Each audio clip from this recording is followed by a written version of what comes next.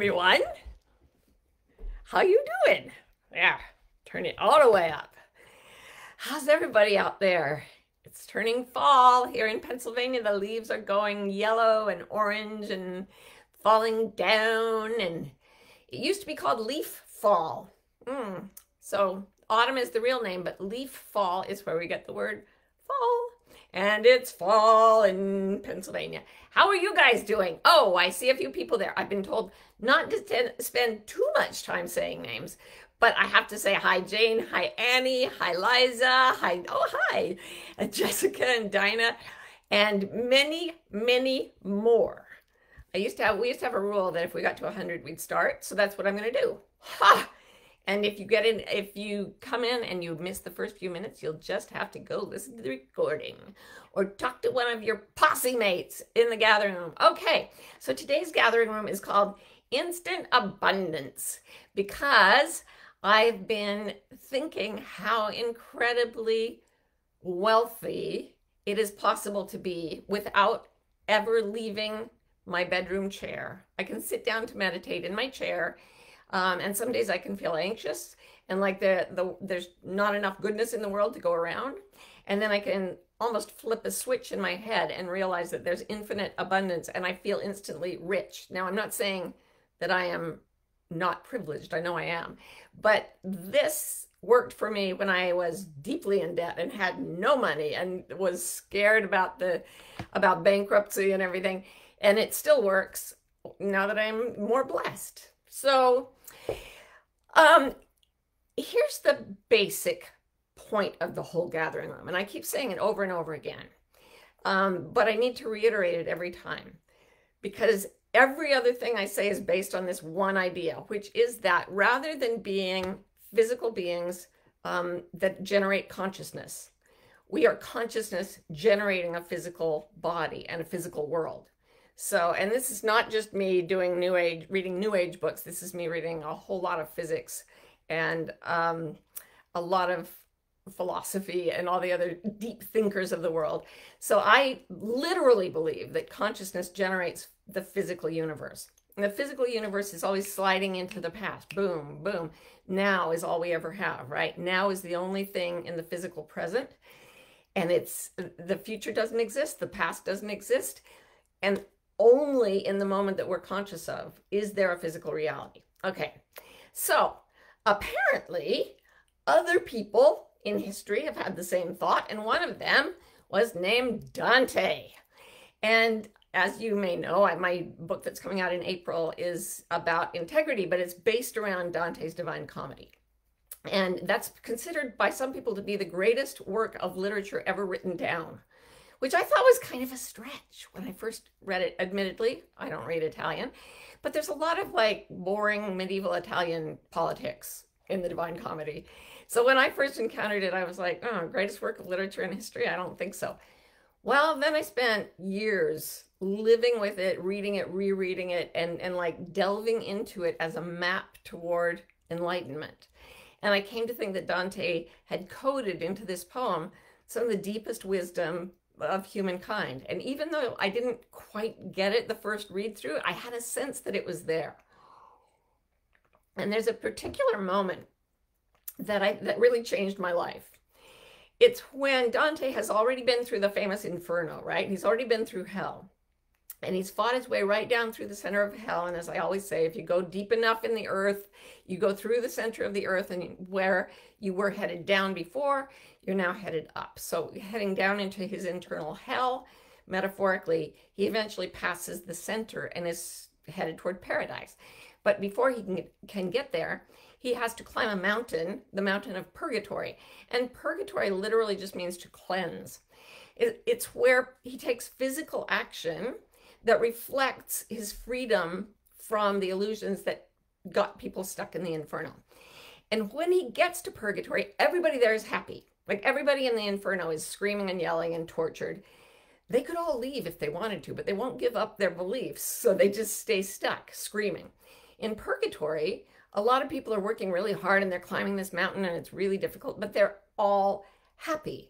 And the reason is that they've seen through their illusions and now they're just purifying themselves through physical effort. And when Dante shows up on the mountain, they're like, oh, a newcomer, more good things for everybody. And Dante, who's being accompanied by Virgil the poet, his, his guide, is like, wait a second, another person shows up and that means there's more for everybody? And he says, and I will quote the Longfellow translation. There are many translations of the Divine Comedy, but this is from the Longfellow tra translation. He says, How can a good that's shared by more possessors enable each to be more rich in it than if that good had been possessed by few? So follow the logic here. How can something that's shared by more people, so more people show up to share it, and suddenly every single one of them has more of it than before than before there were so many people to share with. And right there on the mountain of course he gets his question answered and somebody uh, comes out one of the angels or whatever comes out to teach him. And uh, he says he starts out by saying you're caught in the illusion of material reality. And he explains to him exactly what i just said to you you are a consciousness that generates this physical experience, not a physical experience generating consciousness. He says all the really good stuff that you're here on earth to gather is non physical. Most of it registers for you as emotional. So the feeling of having a lot of money, we think will give us security. Though I know many billionaires, not many, but I know a few billionaires who don't feel secure at all. They're terrified. There was a man in Germany who killed himself because he, in the financial downturn of 2008, he lost so much money, he only had $300 million left. So he killed himself. He was used to being a billionaire, and $300 million just wasn't enough.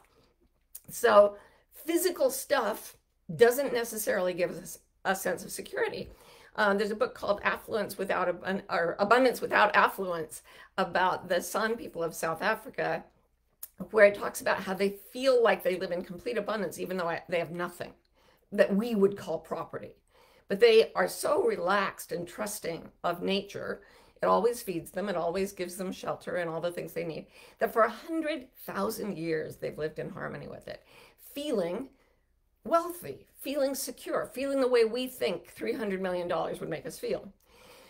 Uh, so, and likewise, if we think we think we had the perfect love, we would feel lovable enough. If we achieved enough, we would feel worthy.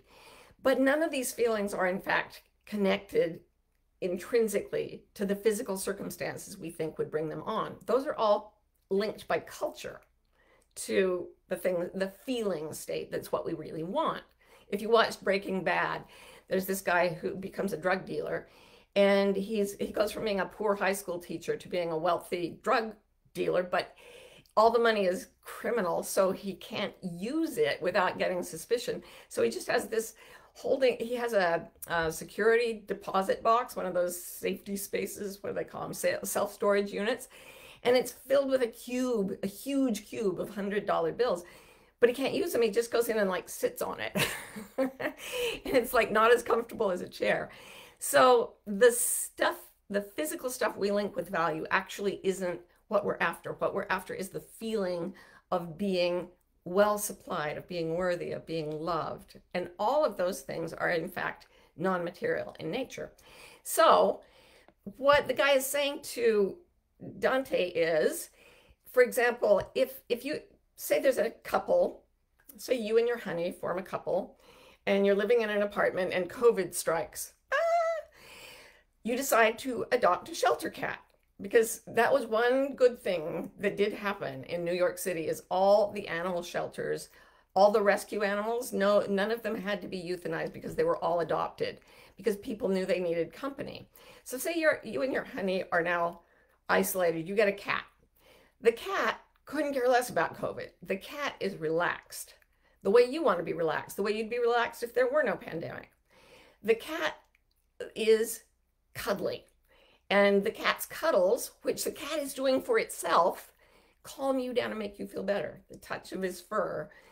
The cat settles down between the two of you and purrs, and both of you fall in love with the cat. And does that mean that you are less in love with each other? No, you're going to love that cat together. And the, the purring of the cat and the love it generates means that there's more for all three of you. So the more people you add into an equation of spiritual value, the more you have. Physical things you have are divided, but spiritual goods are multiplicative. They just, the more you give, the more you get. So um, here, based on that, I have some rules for how to be instantly abundant. And because I never saw an acronym I didn't love, I called this the three G's. And I thought of it in the bathtub this morning. So the first step in being instantly abundant is to first notice what you really truly want. And that is the feelings that you're after. Feelings of worthiness, lovability, calm, security, peace, freedom, those kinds of things.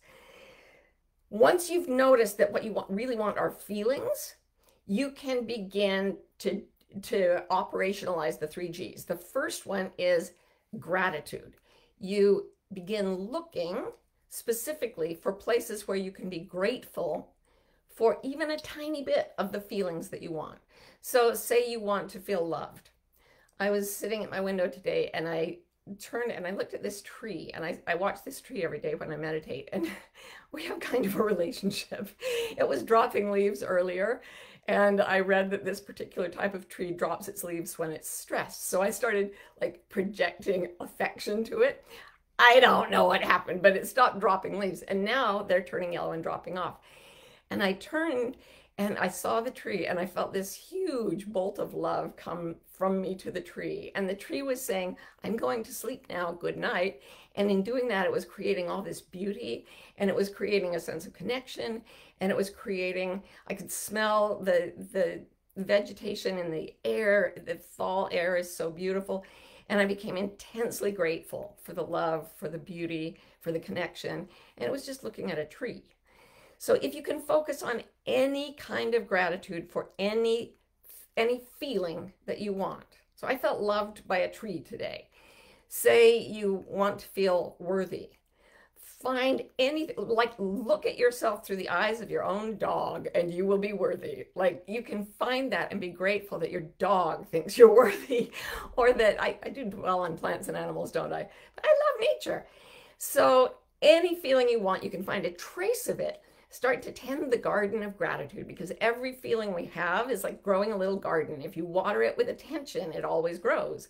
So if you water feelings of scarcity and panic and neediness, which most people do when they, they think that will get them to wealth and abundance, all that grows is obsessiveness and neediness and grasping. So instead, water the garden of gratitude with your attention. That's the first G, grateful. The second one is generative. We not only can receive good feelings from almost anything around us. We can generate them from within ourselves. And this is what meditation does. You sit there without any additional stimuli until you realize you can get it from inside yourself. So if you can generate a, a good feeling, for example, by focusing on a positive mantra, like um, loving kindness meditation for yourself. May you be well, may you be happy, may you be free from suffing. Or looking for focusing on memories of things that make you happy, like the smell of leaves, like the time you saw a comet in the sky, like um, a wonderful TV show you liked as a kid, whatever. Like start to generate more of those grateful feelings and the, the gratitude will start to sprout in all directions. Gratitude is like the stem cell of good emotions. If you get a cell of gratitude, it can sprout into feeling loved, feeling worthy, feeling safe, feeling free, feeling at peace. Gratitude is like a golden ticket. And so generate more of it inside yourself. And then be generous with it. Give it to somebody else. The feeling, not not stuff because then you'll feel like, "Oh, I have less." No, generate something that when you give it, it becomes bigger.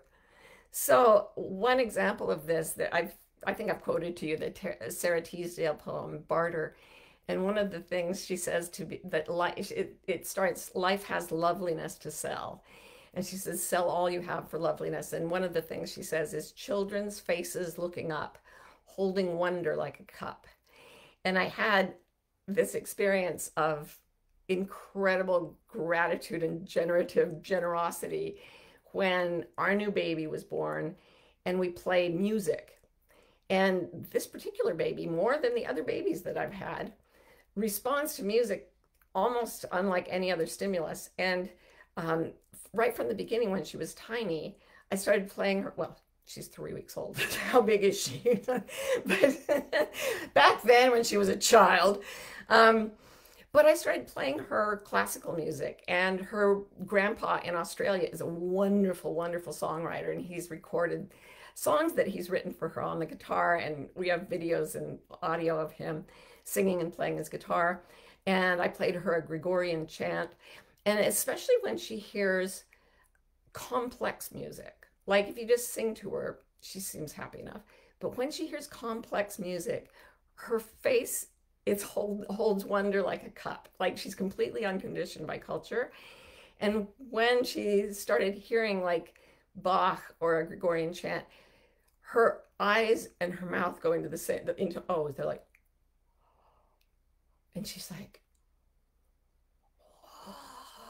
and you just you feel God hearing this music through this particular set of human ears for the first time, and the glory of the experience of hearing music just man it just explodes the idea that in 10 seconds i haven't heard a gregorian chant for years in 10 seconds i think that would be nice something that was written hundreds of years ago sung decades ago recorded by stuff that was took forever to invent and in 10 seconds on the internet gregorian chant there it is and this new form of god is now hearing it and lighting up with wonder. And the world is more full of wonder.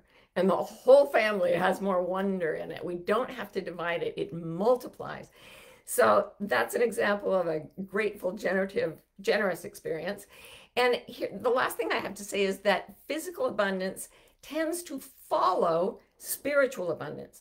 We think that it follows grasping. It does not. Mark my words. Go out and prove it to yourself. Try grasping and desperation all you want, it doesn't work. Physical abundance follows spiritual abundance, but when it does, you don't even really care because it's all about the spiritual abundance. When you're happy and you're grateful and you're generative and you're generous, everybody's always getting richer. So that's what I want to say to you today. Go out and do the three G's and we'll all be richer. And I will now take questions, which the gracious Badger um, mom to Badger 2.0 has been fielding for me. Um, I'm not seeing. There they are. Okay. Donna says, what are some strategies to find the feeling that you really want? We are so conditioned by culture to want things. How do we find the feelings that we want and not the ones we think we're supposed to have? It's really simple. The ones that we're that really work for us, um, they feel delicious. We have fascination for them, attention without effort.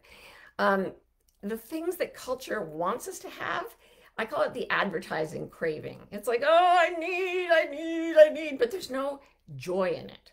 And when it's something like, I think I'm going to get up and go sit by a, a window and look at a tree, there's no neediness to it. It's just like, oh, that would be nice. So anything that feels in the body as a pleasure is actually something that is good for your soul the body and the soul go together. We've also been conditioned to think they they're opposite, but they're not. They're the same. The body responds to the soul far more easily than the mind does. So drop the mind and go with what you would love if you had no language, and you'll pretty much always score. okay, someone says, what version, Jessica says, what version of Dante's Inferno is your favorite? Uh, probably the original, even though I don't read Italian. And I have an Italian friend who says, even if I could read Italian, it's a very old form of Italian. But, um, and I love the Longfellow translation, and I used it in my book, partly because um, I didn't want to tread on any living author's toes. But there's a living author named Mandelbaum, M A N D E L B A U M, and his translation is, I think, from what I can tell, closest to the original, and and he really nails it. Like he's, I think he's amazing. So Mandelbaum, there you were all wondering that all week, and now you know. Um, and um, Mary James says, "Can you say the name of that poem again?" It's called Barter by Sara Teasdale, and I am going to recite the whole thing to you because it's worth it, and because just hearing this poem will give you instant abundance. Okay, let's see if I get it right. It goes, Life has loveliness to sell, all beautiful and splendid things. Blue waves whiting on a cliff, soaring fire that sways and sings, and children's faces looking up, holding wonder like a cup. Life has loveliness to sell, music like, a, a curve of gold, scent of pine trees in the rain, eyes that love you, arms that hold, and for your spirit's clear delight, pure delight, holy thoughts that star the night. Sell all you have for loveliness. Buy it and never count the cost. For one white singing hour of peace, count, count many a year of strife well lost. And for one breath of ecstasy, give all you have been and will be. That's I, one of my favorite poems because she's telling you how to be abundant at the at the end. She says, "Take the one breath you're taking now and give up everything that was and everything that will be. And if you can be here in this breath, there is loveliness all around you, and all you have to trade for it is the past and the future. And your life will fill up instantly with spiritual abundance, which will then be followed by physical abundance, I promise you. Okay, so Kyra says, or Kira, how can we determine when sharing a gift or creation or a sentiment will be generative or when the desire to share might only be ego oriented? This is a good question. By generative, I actually mean um, ramping up the feeling inside yourself. So to generate means to give birth to. So it's like you conceive it by being grateful. Like I was in the bathtub, I was so grateful for the bathtub. Now, how do I generate more gratitude? I'm so grateful for pure water that doesn't, you know, it doesn't have parasites in it. I'm so lucky. I live in America. The water is clean right out of the tap. I just, I spent five minutes being grateful for that. Uh, I'm grateful we have a bathtub. For a lot of my adult life, I didn't have a bathtub that I wanted to take baths in, just to shower.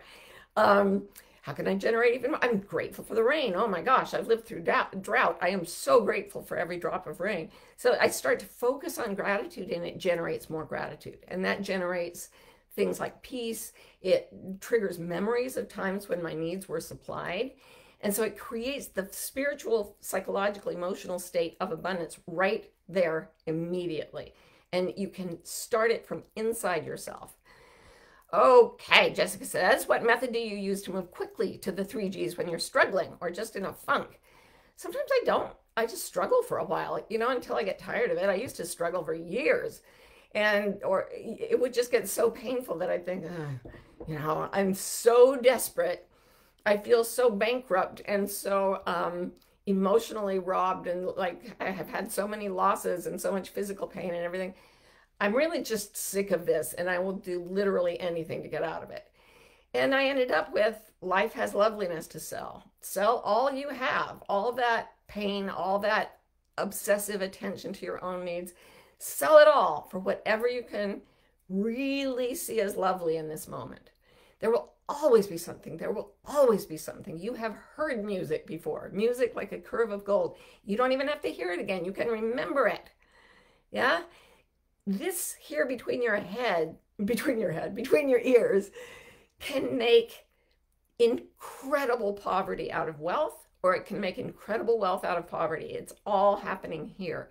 And I know you're like, ah, I thought you were going to tell us how to be rich. This is how to be rich. If you do this psychologically, physical abundance will follow. My son Adam is really, really a good practitioner of the three G's and he he truly enjoys things. He's in his room singing right now. Sundays are always singing days.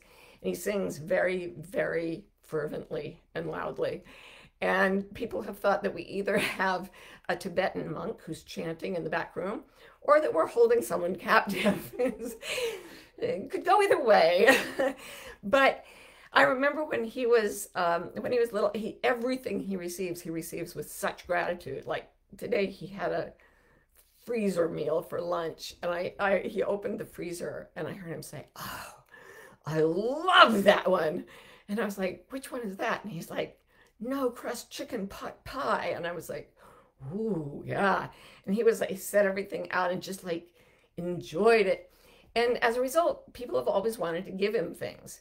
When he was getting, when my older kids were growing through their like elementary school years, the girls got to the point where they didn't like cartoons as much, but Adam still liked cartoons.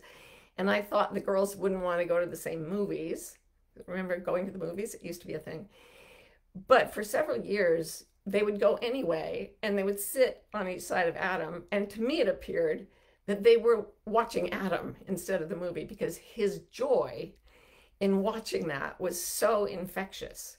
And it was a clear example. Adam, his whole life has been a clear example to me of how someone who generates good feeling can make everyone richer instantly. So, yeah, if you're struggling in a funk, stay in it as long as you want. When you're sick of it, start looking for ways out, and you'll find that bartering your misery for loveliness is really, really, it works. Okay, so Pam says, Can gratitude lead us to a place where we're so content that we just stop and don't add to the world? Can you be too content and grateful? In other words, unmotivated. Here's the thing. Where when's the last time you met an ungrateful person who was adding to your joy? Who was adding goodness to the world? When's the last time you met a peaceful person who was making you miserable, who wasn't adding peace to the world? These values of emotional or spiritual contentment they are intrinsically multiplicative. They go out to the world. So Byron Katie's, who lives in a constant state of gratitude and joy, says, you know, it's not as if love just sits around drooling. Love acts. That's what it does. When it sees suffering, it immediately goes to suffering and, and lifts it into something else, or tries to. I mean, nothing can lift us against our will. But there is no such thing as gratitude that doesn't add to the world. And there is no such thing as ingratitude that adds anything worth keeping. Okay, so just get deeper and deeper into gratitude. You'll see it just, it multiplies and multiplies. Jane says, if I consciously think of gratitude, but I unconsciously feel unworthy, do the th- three G's still work? Yes, they do. The unconscious feeling of unworthiness is developed and practiced. It's a circuit in the brain. What fires together a thought wires together into the brain structure.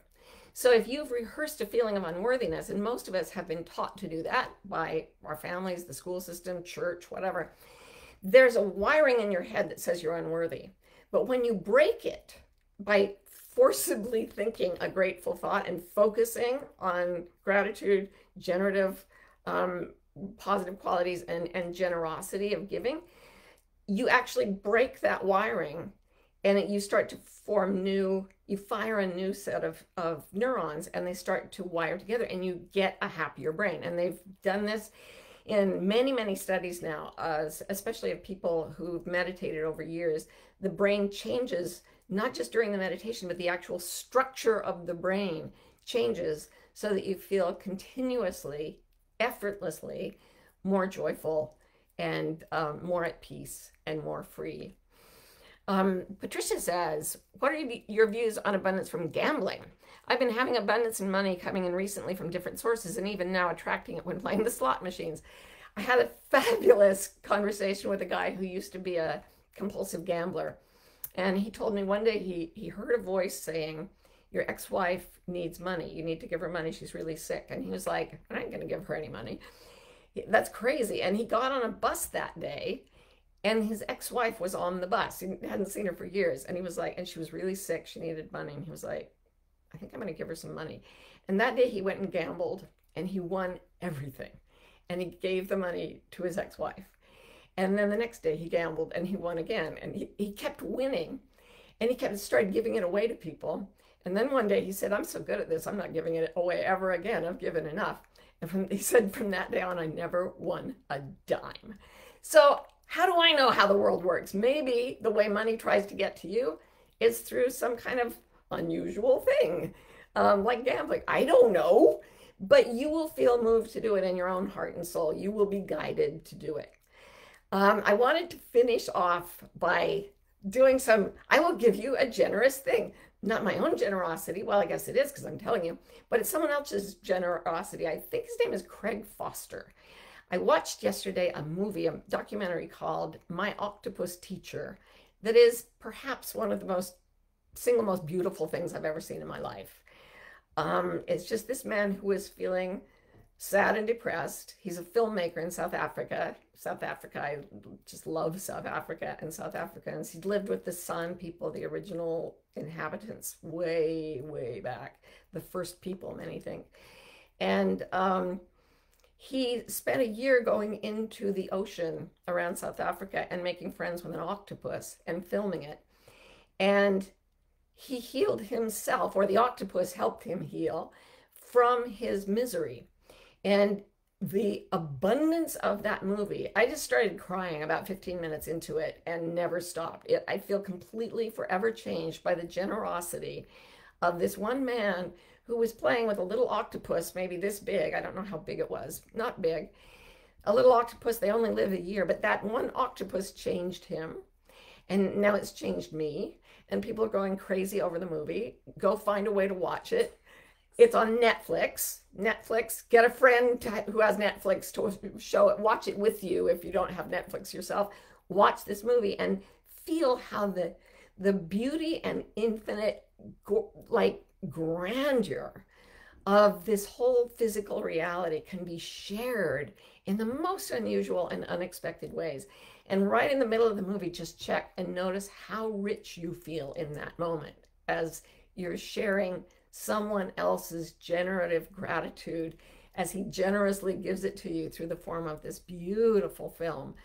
And then think, what can I create that can give those positive feelings to the world? And in the doing of that, you will be rich. And as you get rich emotionally, the physical riches will follow, but you won't even really care because they're not really what you were ever after. You guys make me feel so abundant and rich in my soul. And I'm so grateful for you. Mwah, mwah, mwah. I will see you next week on the Gathering Room. Until then, have a wonderful, abundant week. Goodbye.